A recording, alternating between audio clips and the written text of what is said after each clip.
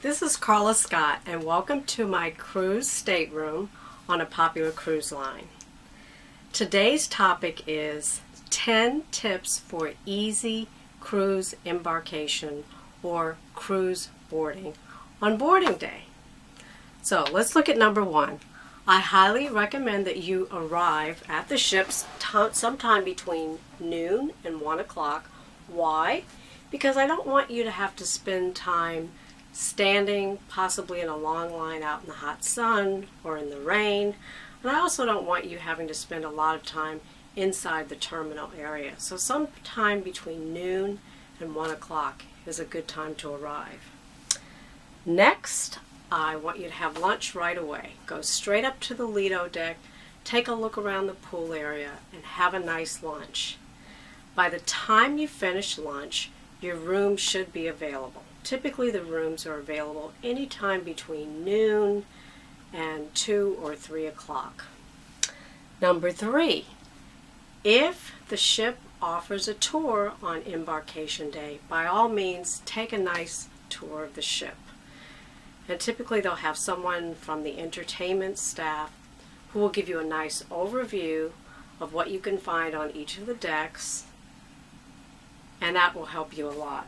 Um, when you do board, they're going to take your photo and they'll give you a key that you'll use for all of your onboard purchases and it's your room key. I like to keep mine in a little pouch on a lanyard around my neck. You'll see a lot of people wearing their keys on lanyards.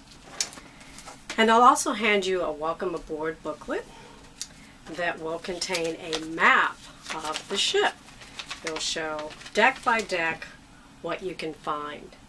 And one rule of thumb that I found that's very common on cruise ships is that forward is entertainment. That's where the big theater is that holds anywhere from 500 to 1500 people. And aft or back is where the food can be found. The main dining rooms, the Lido deck, and some of the other restaurants for which you pay a fee. So just keep that in mind entertainment forward and food backward. And don't worry, it'll probably take you three to five days to really find your way around such that you no longer need to rely on your map. You'll see a lot of people the first few days walking around holding their maps. Number four, every day the cruise line is going to hand you a newsletter that contains the daily schedule. Here you have everything from the date, the weather forecast, what time the sun rises and sun sets. If you know when the sun sets, you can go out on deck and take wonderful, uh, spectacular sunset photos. The dress code of the day. Typically on a seven-day cruise, there'll be two formal nights. And then you have highlights on the cover, and then inside you literally have hour by hour all the activities that are being offered. Here, for example, the activities begin at 8 a.m. with exercise classes and a mass. And the last item scheduled is music in the dance club. So some of the activities are lectures, poolside games, cooking demonstrations, dance lessons, movie times, casino hours, all the music venues. Typically there are four, or five, or six different venues all over the ship where they have musicians. One cruise line even has a popular a cappella quartet group. Keep in mind that most cruise lines also offer room service 24 hours and it's free. What I like to do often is the night before they give you a menu I like to order my breakfast. I hang it out on the door by 2 a.m. and that way the next morning I get both a wake-up call and breakfast. It's really a nice way to wake up. Number five, there will be a mandatory lifeboat drill the first day, sometime between 3.45 and 5 o'clock is average. Number six, please be out on deck for the sail away. There's usually a calypso band playing poolside and people are dancing. It's very festive and you also have an opportunity to take nice photos or videos as the ship sails away from port. Number seven, take your boarding photo. What do I mean by boarding photo? Well, as you're boarding, there will be a couple of photographers stations set up and they will stop you and ask you if you'd, you'd like to take a photo. And why do I recommend that you take your boarding photo is because you'll have a nice souvenir of the trip.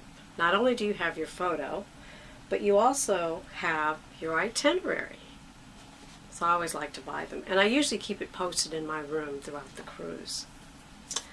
Number eight, meet your table mates the first night. I'd say that two-thirds of passengers have assigned seating, either early seating or late seating, and if you do have assigned seating, you know, it's a nice time to get off to a good start and see who else you'll be sitting with.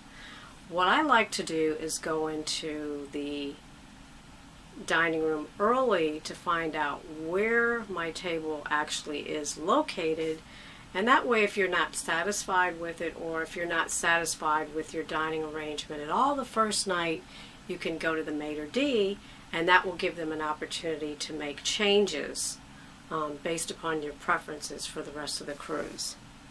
Number nine, try and unpack that first day before you go to sleep because it's nice to wake up the next day feeling completely moved in like you're home. Because remember, this stateroom will be your home for five or seven or ten or twelve or fourteen or more days. And then finally, every night there will be shows in the main theater. Two shows, in fact, an early show and a late show. And there you'll see everything from song and dance teams to musicians to magicians to comedians. There's a nice variety of entertainers. Tonight in the theater they have a concert pianist and last night they had a funny a cappella group. The first night, typically there's only one show, and that's because they anticipate that a lot of the guests will be exhausted from their travels or jet lag, so they don't necessarily attend the first show. I enjoy going to the first show because that's where the cruise director welcomes everyone. They typically go around the room to get an idea of what countries everyone hails from. I always like to know where everyone's from. And you get an opportunity that evening to see their song and dance team. They're uh, really talented young people, typically with robust voices and nice costumes and beautiful bodies, and they're wonderful dancers. And then they may show a few of the other acts that we'll see throughout the cruise. So try and attend the the opening night show in the big theater, no matter how tired you are. Try and stay up as late as possible. So, I'm Karla Scott from Global Ways, and those are my 10 tips on how to make your boarding day or embarkation day on your cruise easier. Bye! Bon voyage!